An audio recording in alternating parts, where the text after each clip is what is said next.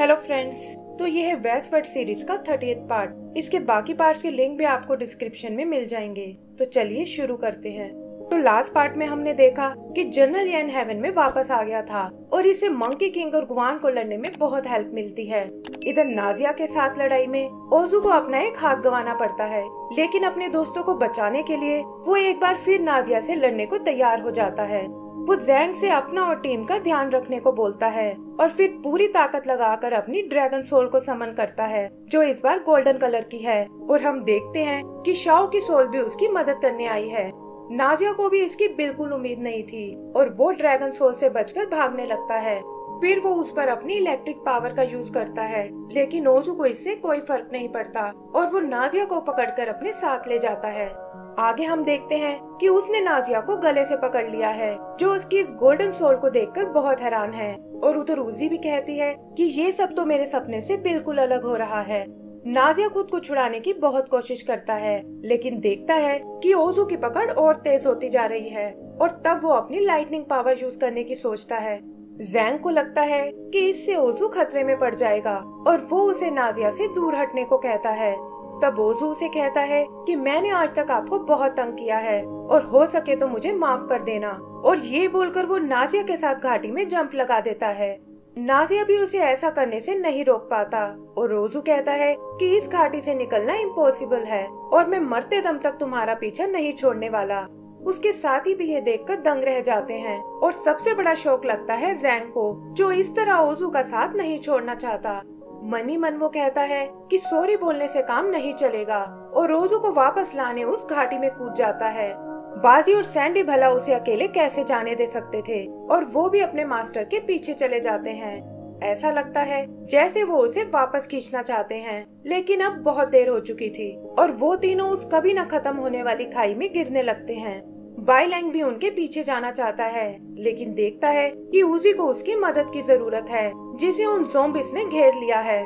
उसे समझ नहीं आता कि पहले वो किसकी मदद करने जाए, लेकिन तभी एक जोम्बी टक्कर मारकर उसे बेहोश कर देता है और बाईलैंग को लगता है कि शायद उनका अंत आ गया है।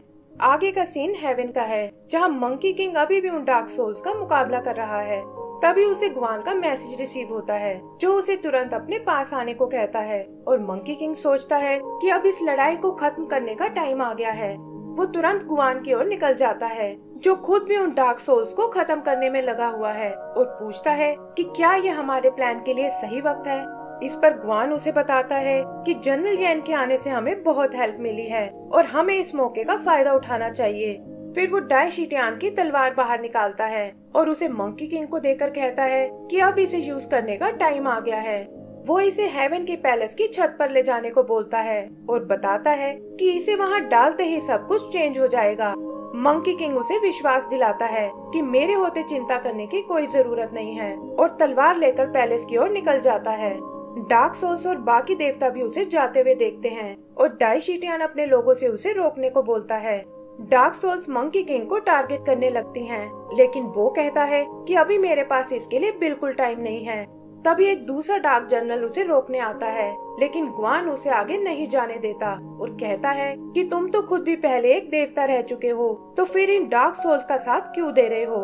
इस पर डार्क जनरल कहता है कि मैं वो तुम्हें बताना ज़रूरी नहीं समझता और ये कहकर ग्वान पर अटैक कर देता है। वान देखता है कि हर अटैक के साथ इसकी ताकत बढ़ती जा रही है और तभी वो डार्क जनरल उसे पकड़कर नीचे पटक देता है। वो ग्वान से कहता है कि कब से मैं तुम्हें मारना चाहता था और आज मेरी वो ख्वाहिश पूरी हो जाएगी।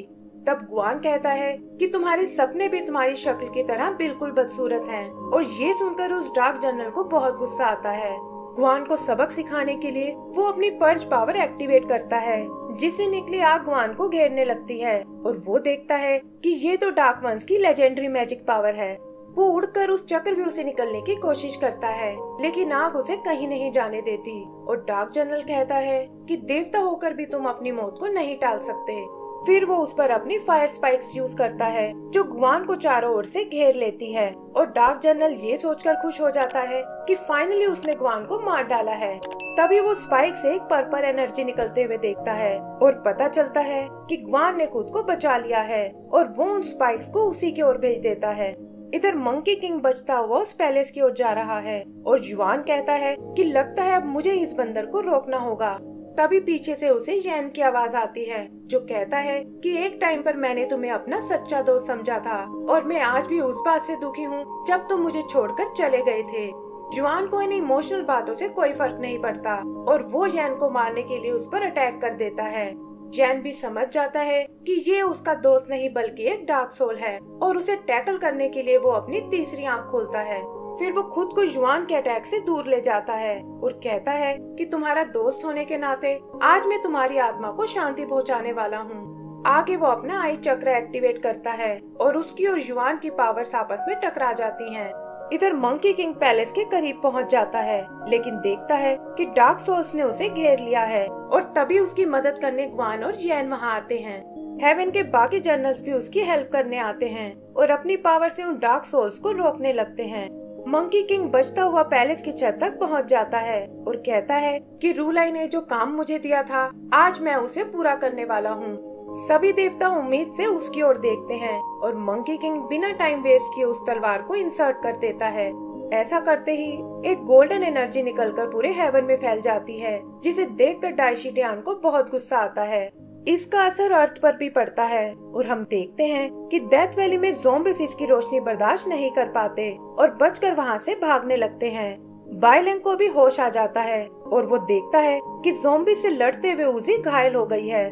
वो तुरंत उसे चेक करने जाता है और रूजी कहती है कि तुमने मेरे लिए बहुत दुख सहे हैं, लेकिन अब सब कुछ ठीक होने वाला है और बस ये याद रखना कि चाहे सिचुएशन कितनी भी खराब क्यों ना हो, तुम्हें अपने इरादों पर विश्वास रखना होगा।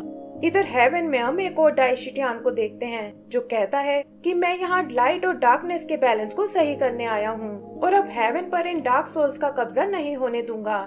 उसकी एनर्जी हेवन के कोने कोने में जाने लगती है और वो कहता है कि दुनिया देवताओं से जस्टिस की उम्मीद करती है और अगर हम ही फेल हो गए तो नेचर का बैलेंस बिगड़ जाएगा। यही हम देखते हैं कि डार्क सोल्स एक तरफ़ इकट्ठा होना शुरू हो गई हैं और साउथ किंग डाइशिटियान से कहता है कि शायद हमें अपना प्लान बदल लेना चाहिए। लेकिन डाइशिटियान उसे थोड़ा इंतज़ार करने को कहता है उधर दूसरा डाइशिटियान गुआन और उसके साथियों की बहुत तारीफ़ करता है और कहता है कि तुम लोग हेवन के सच्चे रक्षक हो। फिर वो अपनी पावर से उनके घाव ठीक कर देता है और शीगुओ कहता है कि यही डाइशिटियान तो मेरा सच्चा दोस्त है और असली लड़ाई तो अब शुरू होगी।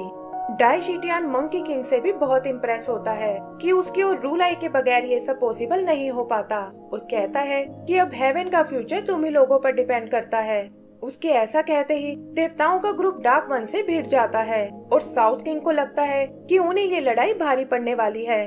डाइशिटियान को भी बचने का बस एक ही तरीका नज़र आता है और वो साउथ किंग से कहता है कि अब उस सीक्रेट जगह जाने का वक्त आ गया है।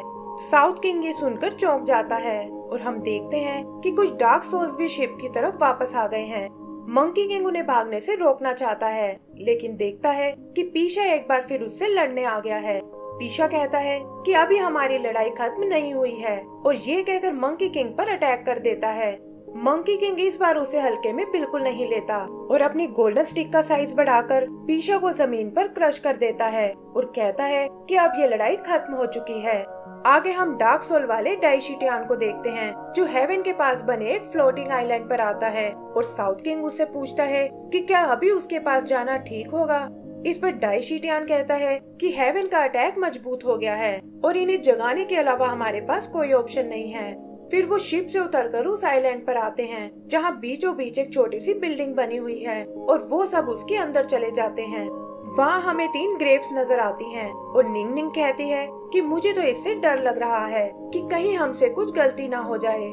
तब डाइशिटियान उसे समझाता है कि डरने की कोई ज़रूरत नहीं है और डार्क सोल्स का फादर होने के नाते वो हमारी बात ज़रूर समझेंगे। तभी हम ग्रेव से किसी को बाहर निकलते हुए देखते हैं और इसी के साथ हमारा ये एपिसोड भी खत्म हो जाता है।